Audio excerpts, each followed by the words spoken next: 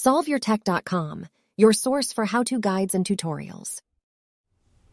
Welcome to our video about how to use a QR code from a picture on an iPhone 14. If this guide helps you out, then please consider subscribing and liking this video. If you've previously taken a picture of a QR code so that you could access it later, or if you've downloaded one from the internet, then you might be wondering how you can use that on your phone. Fortunately, you can do so by opening the Photos app. You can then navigate to the picture with the QR code that you want to use, and you can open it so that it's in a screen that looks like this. Now you just need to find the QR code in the image, then tap and hold on it, which is going to bring up a series of options like this. Now you can just choose the Open in Safari option to view that QR code in the Safari browser, and then you'll be able to see the content that way. In the future, if you would like to be able to scan QR codes directly with your phone, then you just need to enable an option in the settings menu. So you can do this by opening the settings app. You can then scroll down and select the camera option from this menu.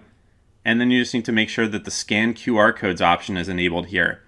Then you can just open the camera app, switch to photo mode, and then make sure that the QR code is visible within the viewfinder. And then you'll be able to tap the orange link that appears once the phone has registered that QR code.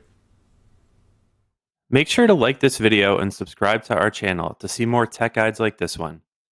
For additional information on this topic and to read the entire article, click the link in the description to visit solveyourtech.com.